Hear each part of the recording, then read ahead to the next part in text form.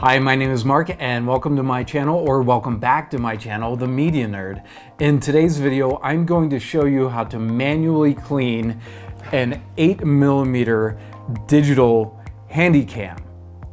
And this particular unit is DCR TRV 140 and it's a digital 8. Now I just got done showing how to clean a regular Hi8 camera, but the difference is this is a bottom loading camera and this is a top loading camera. And I find these a lot easier to use, especially when I'm doing transfers so I don't have to continually flip the camera over to get the tape in and out. So this is a camera of choice. But the real camera of choice that I like, which I'll put in the description, in the video description for Amazon, is this particular unit. And this is a Sony, and the model number of this one is DCR TRV320. Like I said, I'm gonna put a link to Amazon for this camera.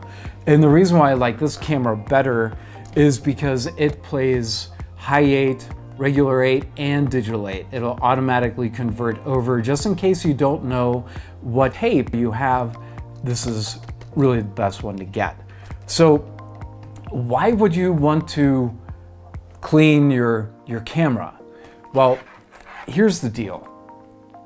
You put your tape in and you're playing and it's a nice picture and then it starts to like get a little staticky on the screen, and then there's more static, and then the audio's cutting out, and then all of a sudden, bam, it goes to a blue screen. Now, why is that happening? It's because these guys are like 20, 25 years old. Uh, and they're starting to deteriorate. Really, the tape is starting to flake off and clog the heads of the camera just because they're just getting so old. And it's like little microscopic particles that are breaking off. It's not big chunks, but it's little. And in the past, what I've always loved to use is just this 8 millimeter cleaning head. These are great. You pop it in, hit play for 20 seconds, then take it out, put your tape back in, and you, and you get a clean picture again. But here's the problem. I can't find these on Amazon any longer. Uh, I did find them on eBay, and for a used one, and you don't want to buy a used one because they're used, they're like 45, 50 bucks. And if you can possibly find a new one, man, these are going for like a $100. It's just not cost effective. It's not cost effective for me and most likely not for you. So we're gonna manually clean it. And what I found were these chamois swabs on Amazon, and I have the link in the description that you can go right to Amazon get it. Uh, using that and this Audio 456. This is a nice head cleaner.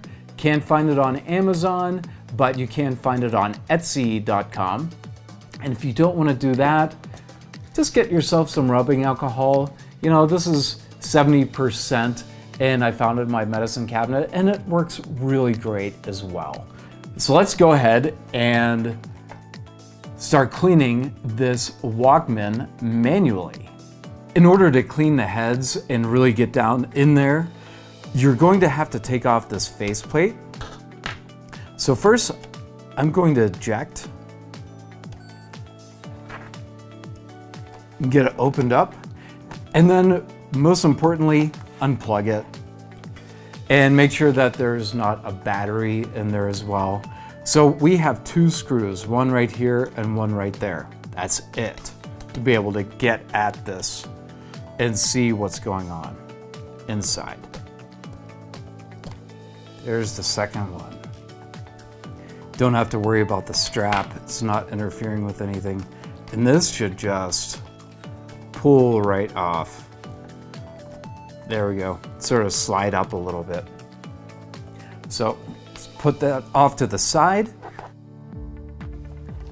And now let's see if we can see that drum head in there. See that circular drum head? I'm gonna get my finger right there and spin it so you can see it.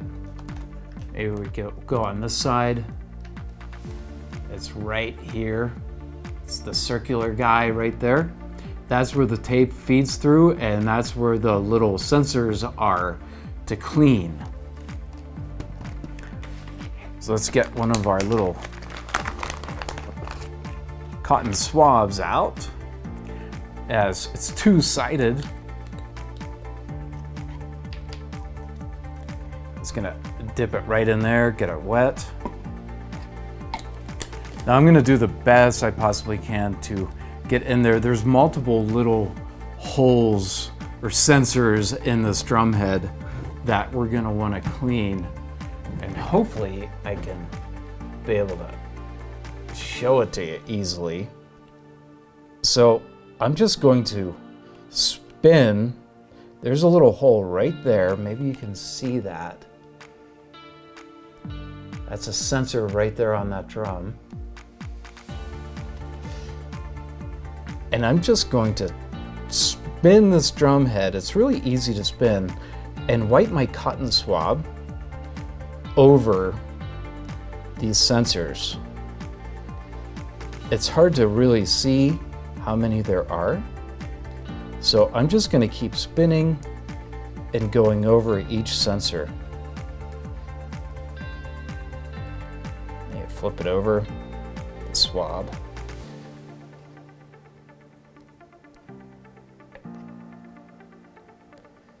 Just keep spinning and cleaning, trying to get even the, the entire drum clean, not just the sensors. Hopefully,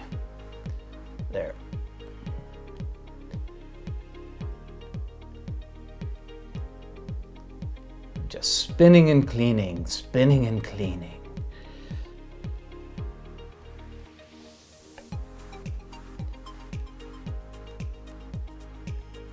Now you see that there's some other little mechs in there as well that the tape's gonna go through. See the little metal right here. You can try to give that a little wipe off if you want. That collects residue. And here's pinch roller, this rubber gasket called a pinch roller. There's uh, cap heads. There's different names for these, but in all intents and purposes, why do you really know the technical names for them? Just give them a good little cleaning. You can maybe see that there is some black dirt that came off, residue. So that's really it. I mean, that's the best you can do if you don't have a tape cleaner. That's great. So we're just going to repeat the process to put the the cap back on, it's gonna sort of slide into place. There's these little metal things right here that it's gonna slide into. Then you can see the, the holes will line up. Good, I didn't lose my screws.